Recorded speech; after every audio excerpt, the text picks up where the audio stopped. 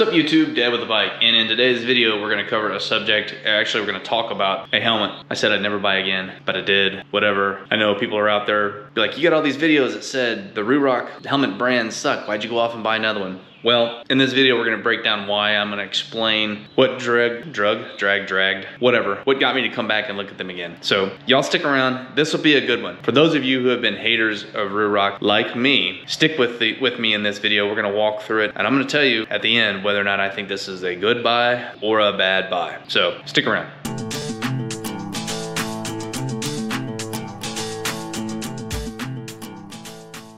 Alrighty y'all, thanks for sticking around. If do me a favor, if you are new to the channel, hit that subscribe button, throw me a like, give me a comment. After you've watched this video a little bit, give me your thoughts. What do you think about Ruroc in general, or even their attempts to making this next version of their helmet solid? I don't know, I'm interested to hear what y'all think. So I have a whole series of videos on issues that I've had with Ruroc over the past couple of helmets that I've gotten from them. 2.0 that I got, Berserker that I got. I ended up getting a 3.0 from them. They sent it to me because of all the issues that I was having with with like the 2.0 and the Berserker. But I didn't do a video on that one because when I got it and I actually looked at the quality of the 3.0, it was just garbage. There was just no way that I was gonna use that helmet or keep it. As soon as I pulled out of the box, things just were weird. It fit weird. The cheek pads were crap. The cheek bags were cutting into my face. And yes, my helmet fit correctly. I know how to size my helmet. And it was just garbage. Things were loose in the helmet. The seal kind of around the bottom, there's a little plastic seal that goes around the bottom. That started just to peel off. So just in general, quality issues with the 3.0 was just horrible in my experience. And that only exacerbated my distaste for the company given that I've had those issues with the 3.0 and the 2.0 and the Berserker, and I guess I'm just a glutton for punishment because here we are with the 4.0. But with the 4.0, my question is going to be, is it going to be better? Is it different? If you look at what some of the other folks have said so far that are not the big YouTube names that have always stood behind Ruroc and said, it's the best helmet in the world, raw. It's crap. That's not true because it's not. There's all kinds of issues with it. I'm not going to get into that, but whatever. That's how Ruroc was choosing to market their stuff. But there were a few others out there that were not Ruroc loyalists that are honest to goodness reviewers of products like Gears and Gadgets. And he did one, or he recently did a video where he went out to their launch event on his own, they didn't pay him, to review the helmet. And he did, and he came back and said, oh my God, I think this helmet is a contender with the RF 1400. And he even came out and he said this may become his uh, everyday helmet. Now, Ruroc kind of did him wrong on how they decided to go about marketing his videos, basically making it look like it was a paid for thing or whatever. I hope he sorts that out. And Ruroc, if you're watching my video, come on, don't do people like that. Get their permission first. But I'm not here talking about the company. We will in a second because I, I think I think the company itself, its future weighs on whether or not you should buy this helmet. But we'll get into that for a second. I actually want to talk about the helmet itself. So let's take a quick look at what the Ruroc 4.0 looks like. We'll do a quick walk around. And I specifically picked up the Fenrir version. So check this out and let me know what you think.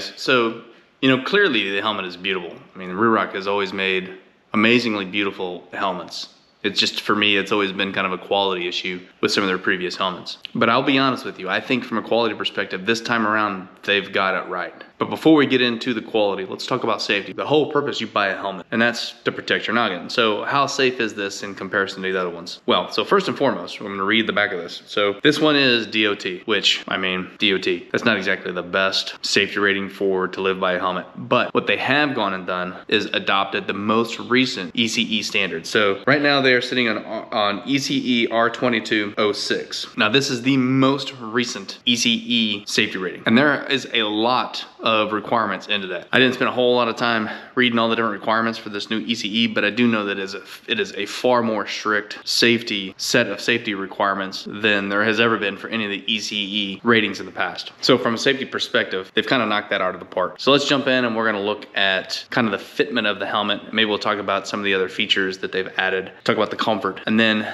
that one thing that seems to annoy a lot of people, it annoyed the piss out of me, was the noise level on these uh, Rurocs. So we're gonna talk about that too. So let's uh, throw the helmet on and then we'll walk through it and talk about it a bit. Alrighty, I'm probably pretty muffled, but I'm sure you guys can still hear me.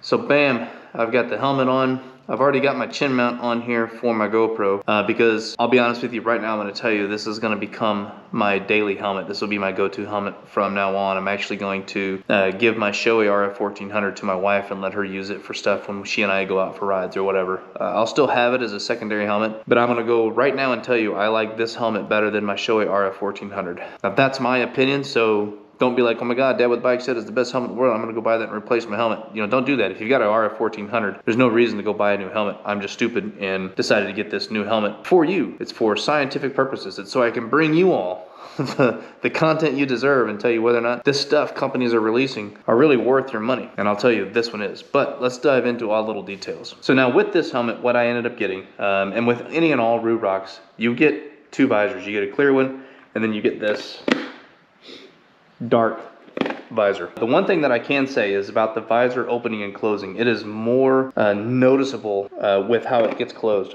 So how it raises, it's got lots of different lock points as it goes up. And then as it goes down and you lock it, used to they had this little pin thing that they kind of fixed-ish in the uh, 3.0, but I think it's much better in the 4 and it does a pretty good job at locking and keeping the wind out. So like with all Ruroc, the, you know, the, the thing that has always been great about Rurocs is the field division. So when I'm going down the highway and I've got my visor down, my field of vision is pretty insane. I've never had a better field of vision in a helmet than I have in a Ruroc. So that's always been a massive plus for the Rurocs themselves is the field of vision um, for your peripherals have been amazing. Now securing the helmet is still done with the same Fidlock thing. I'm not a fan of the Fidlock. I mean, it's okay. I don't mind it. Maybe it's just the old school me that wants the D-ring, but it's fine. You know, it's very easy to secure and it's very easy to undo. You know, that's kind of cool. It doesn't come off very easily, so it's not something that's just gonna like plop off while you're riding down the road. So I wouldn't worry too much about that. Now from a comfort perspective, they have done an amazing job with the new lining that's in this helmet. It is by far the best lining that they have ever put in a helmet. And I will argue it is way more comfortable on the inside than in my Shoei RF 1400. I was ridiculously surprised at how comfortable this helmet was. Now, because this is that new ECE standard, there are some weird sizing paradigms you've got to look through. Make sure if you're going to buy a Ruroc, you follow their sizing standard. Just because you think you wear a medium, you may not actually wear a medium in Ruroc anymore because they've got multiple sizes now in order to adjust and meet this new ECE standard. So they've got a thing on their website for how to size it correctly for your noggin. Follow that if you're choosing to get a Ruroc. But like I said, the liner in this thing is fantastic. I don't, I can't shift it around like I could that 3.0. Like when I would put the 3.0 on, I mean, I could like shift that whole helmet around my face, and that was a medium, and I know my helmet size, so that was annoying. And then when I got the larger cheek pads to try and solve that problem with like the 3.0, like then I couldn't fit the damn thing over my head. It was weird. It was just like it was just so poorly designed and just horribly uncomfortable. Not the case with how they've done this new liner. Like I, I love this liner. So comfort for me, like I said, man, I can't. This is crazy comfortable. I, I, I, can't say it enough. Like it just it baffles me how this helmet is so much better, hundreds, thousands of times better than their previous versions. So wind noise. How about we talk about wind noise? The thing that baffled me the most about this thing in the beginning when I had the two, not this helmet specifically, but when I had like the twos and whatever, was the wind noise. So damn noisy, so loud. You couldn't even hear yourself think. I had to wear earplugs all the time.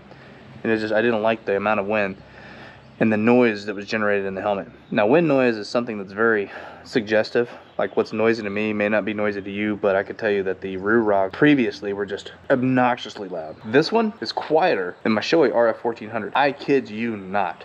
Uh, I've taken this on a really long ride. Well, I say really long. I did a few hundred miles. And when I would do a few hundred miles with my Shoei, it was comfortable, but I'd have to wear some earplugs because I got this weird sensation in my ears from time to time that I just wore earplugs because it was more comfortable. I don't have to with this. The noise level in this thing is so dampened. They did a hell of a job with blocking out the wind noise in this helmet. I don't, I don't know what they did that was different, but whatever it is, they fixed the wind noise problem for me. I can wear this helmet now without earplugs. And even with my exhaust right next to my face, it blocks the noise out so much. Uh, it's amazing. I can't say enough about how good the noise cancellation, I don't know noise cancellation is the right word, but how quiet this helmet is compared to what it was and even compared to my Shoei RF 1400. Now, one of the other things that I also did when I got this helmet was I decided I was going to do the shockwave. I had heard a lot of complaints about the, you know, the shockwave and how crappy it was. And, you know, it's different this time around especially with how quiet this helmet is. So I got it. And I can tell you, I am really, really, really, really, really satisfied with the Shockwave. And I like it because it's keeping things clean. And the only reason why I didn't get it before was because oh, helmet was so damn loud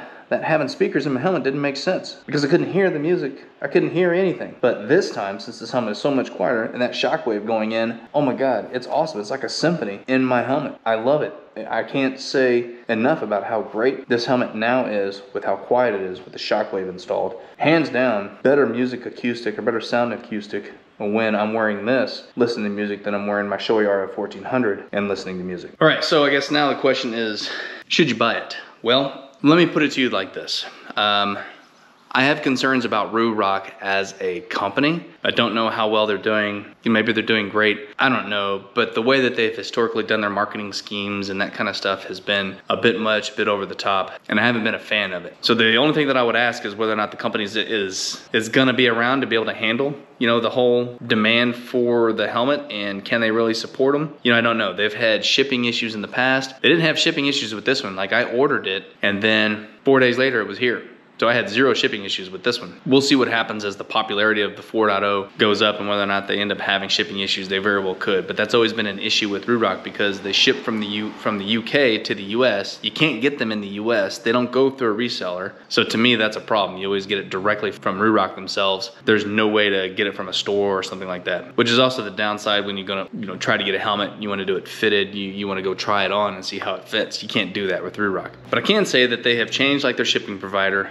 They have changed, you know, how they handle this stuff. They keep them in stock now, so they do a little bit better job at like turnarounds from when they do ordering and when they ship and when you get them. But putting the shipping issue to the side, do I think that this is a worthy helmet of buying? I absolutely do. I now think that this Ruroc 4.0, if they take this as the base and they continue to improve from here, uh, you know they've got something. This to me is is is the best helmet helmet that I have put on and have worn for an extended period of time in a long time. It was the Shoei RF 1400, but I honestly think this beats out my Shoei RF 1400. So to me, and in my opinion, absolutely, it's a great helmet. And you know, it's even better when you put the shockwave in, you know, and, and, and you're able to use that audio system and communication system that come with the shockwave, you know, as how you're gonna handle music or making phone calls. Downside is, of course, the shockwave that your buddies are all wearing Senas or Cardo Pack Talks or whatever, you know, you can't really do the connecty thing and whatever. Maybe somebody knows how and I just don't, but to me that's not that big of a deal.